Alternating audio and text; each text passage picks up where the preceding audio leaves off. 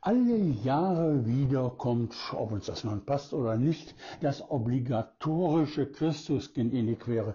Bei manchen ist es auch der Limonaden-Weihnachtsmann, mal im Monster Truck, gern auch mit dem notorisch schnapsnasigen Rentier Rudi vor dem Jingle Bell Schlitten. Aber die gefühlsduselige Adventszeit hat mehr zu bieten. Vielleicht erinnern Sie sich ja noch.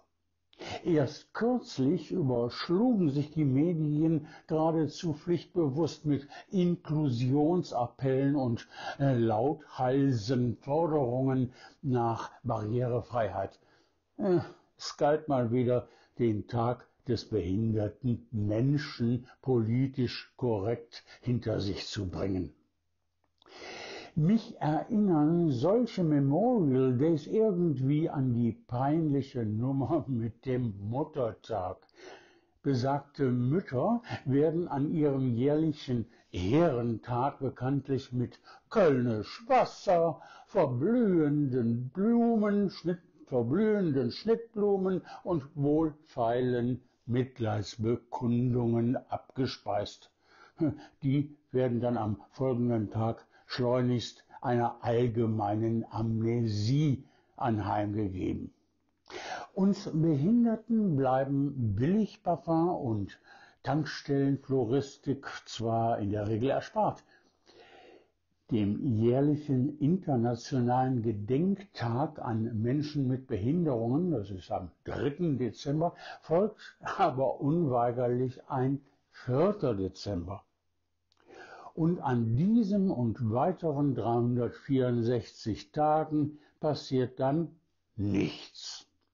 Dass fast alle Damen und Herren, Politiker und Politikerinnen gleich welcher Couleur immer noch ohne Schamrot anzulaufen, von Wahlperiode zu Wahlperiode, die gleichen Ausreden finden, wenn es darum geht, die Rechte von Menschen mit Behinderungen ernst zu nehmen und umzusetzen, wohlgemerkt.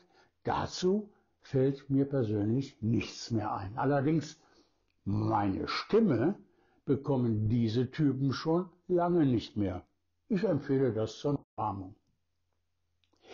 Aber wir müssen uns gar nicht immer in den von Lobbyisten beherrschten Sümpfen der Politik äh, herumtreiben, um zu erleben, was es immer noch heißt, mit einer Behinderung zu leben.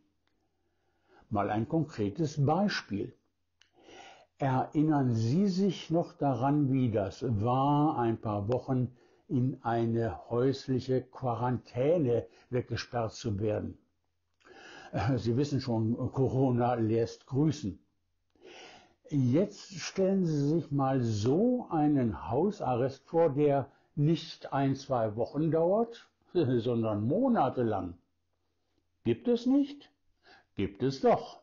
Wer aus gesundheitlichen Gründen nicht laufen kann, bekommt mit Unterstützung seiner Krankenkasse als äh, Hilfsmittel, als behinderter Mensch auf ärztliches Rezept einen Rollstuhl gestellt, geliefert vom Sanitätshaus seines Vertrauens.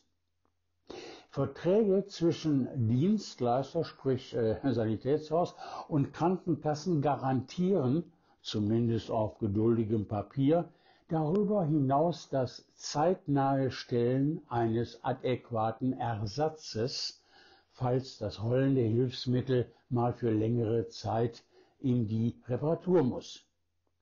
Äh, so weit, so gut. Die Realität allerdings sieht anders aus. Regelmäßig einen Monat oder länger ans Haus, nicht etwa an den Rollstuhl, gefesselt sein, diese Erfahrung machen mit mir viele Menschen, die auf einen Rollstuhl angewiesen sind, wenn sie das Haus verlassen wollen. Auch so eine Art alle Jahre wieder. Der Grund, seit Jahren, nicht erst seit Ausbruch der Corona-Pandemie oder äh, des Kriegsbeginns in der U äh, Ukraine, sind Sanitätshäuser und Rollstuhlanbieter nicht in der Lage, dringend benötigte Ersatzteile zeitnah zu beschaffen.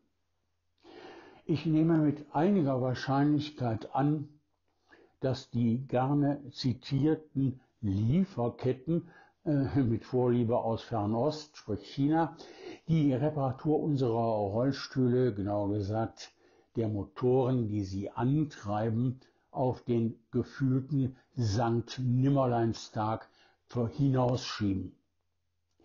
Abgesehen mal davon, dass das Problem der Abhängigkeit von aus dem Ruder laufenden, schwer zu kontrollierenden und jede Just-in-Time-Praxis ad absurdum führenden Lieferketten nicht erst seit Corona und Ukraine bekannt sind. Es ist nicht mehr zu übersehen, dass Sanitätshäuser und Hersteller von Hilfsmitteln ausschließlich daran interessiert sind, ihre sauteuren Produkte zu verkaufen. Hat man erst einmal das Geld der Behinderten, meist über die Krankenkassen, auf dem Konto, gilt das Motto ganz offensichtlich nach mir die Sintflut. Meine Meinung? Gefragt sind hier vor allem die Krankenkassen, die von den Sanitätshäusern als williges Instrument zum Gelddrucken missbraucht werden.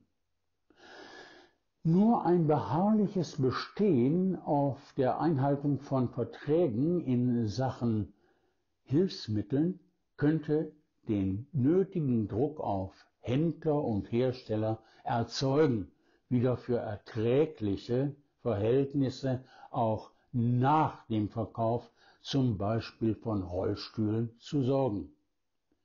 Jos van Aken